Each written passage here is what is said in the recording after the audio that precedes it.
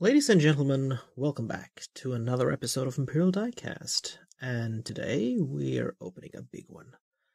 A 1 500 scale Boeing 747 400 from United Airlines.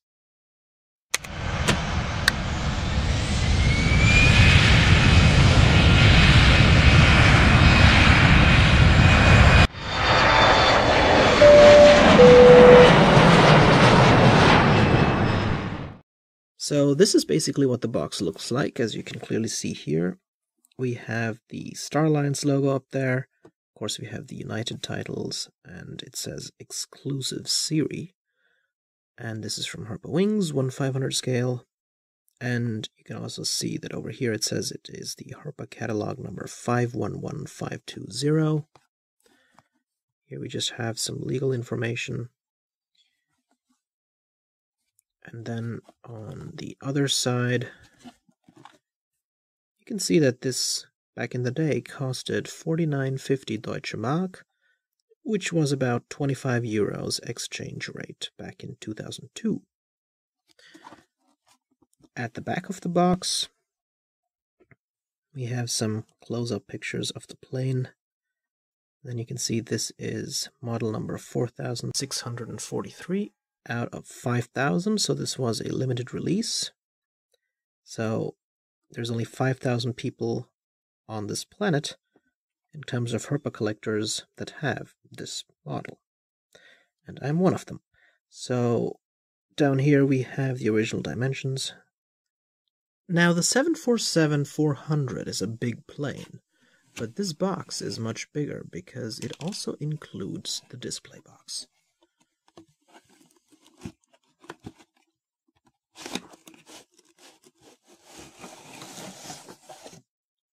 That's right. Once upon a time, Herpa used to sell special editions where it wasn't just a plane, but a display box as well. But it didn't mean they were prohibitively expensive or anything. On the contrary, I actually picked this up for just 15 euros. Plane and display case. For that kind of money, you don't even get a regional airliner from Herpa these days.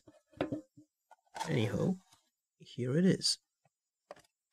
So here's the base, and you can see that it has a beveled edge on which it says United Airlines B747-400, Herpa Wings exclusive series.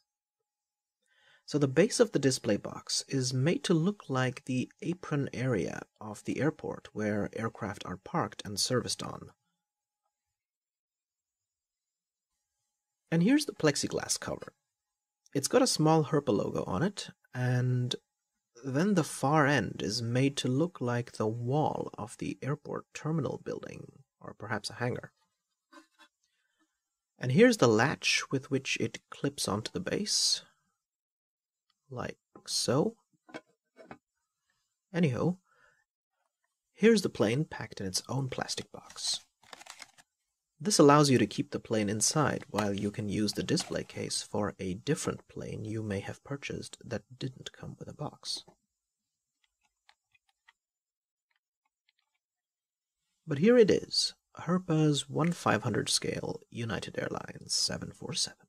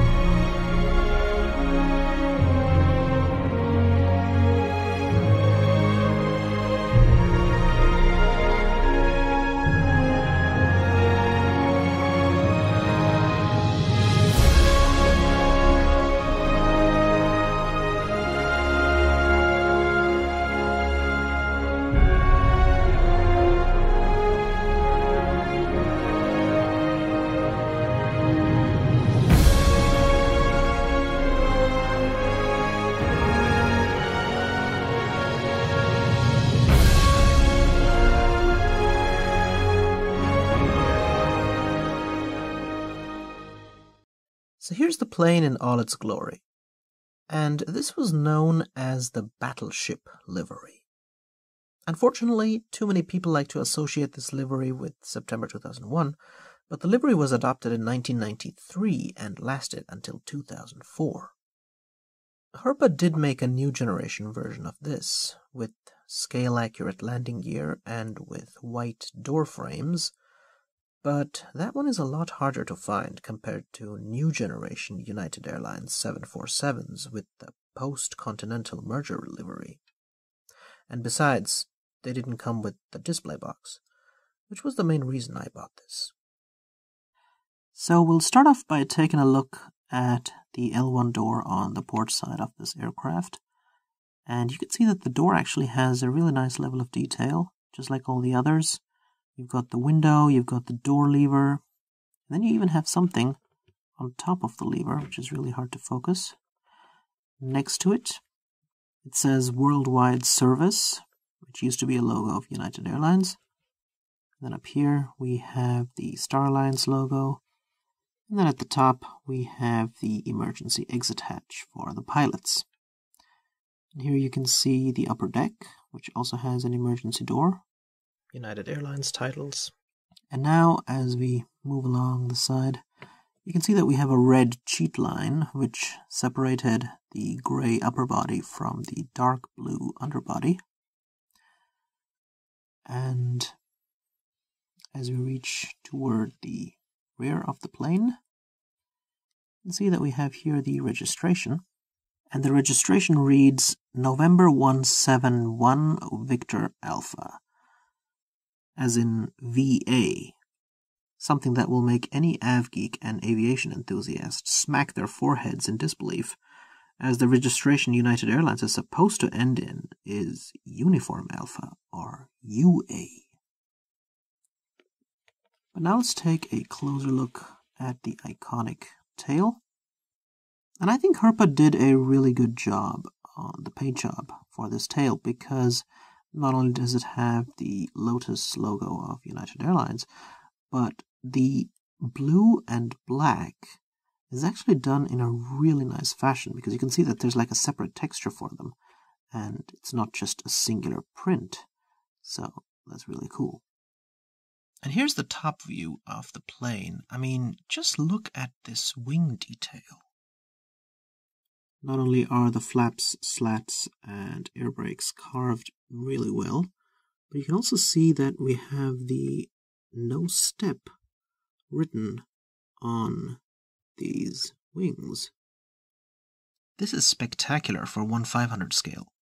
Even more so considering this is a Herpa and not a Schuco Starjets. Even more so considering this is in fact an old gen Herpa with the old landing gear. I mean, you have these markings even on the horizontal stabilizers. Some of Herpa's new generation A380s don't have that kind of detail here. And you get beacon lights as well. The Boeing 747 is powered by four engines, and these are Pratt & Whitney PW4056s. And you can see they have the silver leading edge, the nacelles are painted in dark blue, and then we have nice fan blade detailing as well. And here's a front view of the Boeing 747-400, and you also get a closer look at the cockpit windows here. And what I like about them is that we actually get silver cockpit window frames on them. Now, unfortunately, I just noticed that there's a very small tear in one of the windows, but I mean, it still looks good.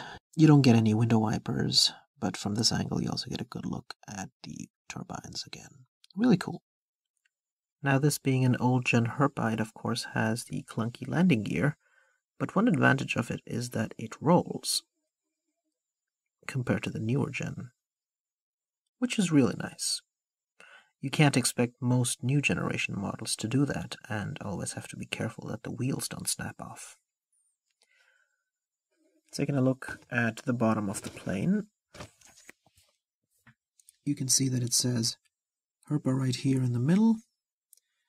We have pretty good underwing detail, including the trailing edge fairings, and here you get a better look at the slats. And the stabilizers, or the elevators, I should say. And over here, you can also see the plane's cargo doors printed on, which is a really nice extra detail for an old gen Herpa. Because of the dark blue nature of the underbelly paint, it is kind of hard to see them from low angles, but um, otherwise, it's still a really good looking plane. So, what are my concluding thoughts about the 747-400 in the United Airlines battleship livery? Let me put it this way. For anybody who is interested in starting a 1 500 scale airplane collection, out of all the gazillion models out there, this is the model I can highly recommend as your first one for several reasons. It is cheap. You can find this anywhere between 15 and 30 euros. It is big, one of the biggest 1 500 scale models out there, considering it is the 747. It has a higher level of detail than other old gen Herpa 747s. And most importantly, for the price you pay, you get this hard plastic case to display the model without it catching dust. And this display case, in fact, has enough room to place some airport accessories around the plane as well like stairs, service vehicles, and perhaps even a small regional airplane next to it. So that way you can store two planes in this case. Great value for money, especially now that we're in a day and age where new Herpa releases are often tiny regional planes for a higher price than this entire set here. So if you like this review, smash that thumbs up button and subscribe, cause I regularly post plane reviews on this diecast channel along with my car reviews. And until I review my next plane, why not check out some other ones I've reviewed here? Take care. This is Imperial Diecast, signing out.